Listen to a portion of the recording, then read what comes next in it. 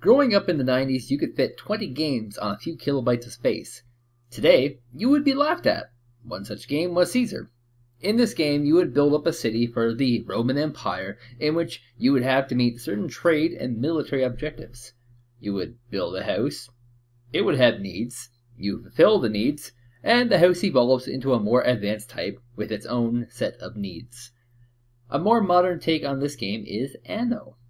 And then comes along Lethis Path of Progress, which has its simple graphics and limited worlds to try and recreate that feel of Caesar. With Anno, you had one massive map. With Lethis, you have a smaller map, but the ability to trade between other smaller maps. So it has a lot of elements that will be familiar to some and unusual to others. You lay down your house and people move in. They complain that they want something and you fulfill it.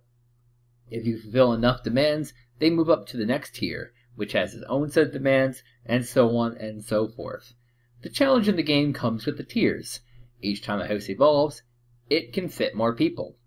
You have to maintain all your old demands while facilitating new ones. This particular version of the story involves pathing of various carts to bring resources to buildings. You need to have structures positioned properly to hit the entire population for maximum effect. This can mean some fierce city planning skills in which the challenge will come with min-maxing your city. The game comes with a fairly large campaign tutorial that will bring you through all the basics of the game, including building, chains, trade, and infrastructure.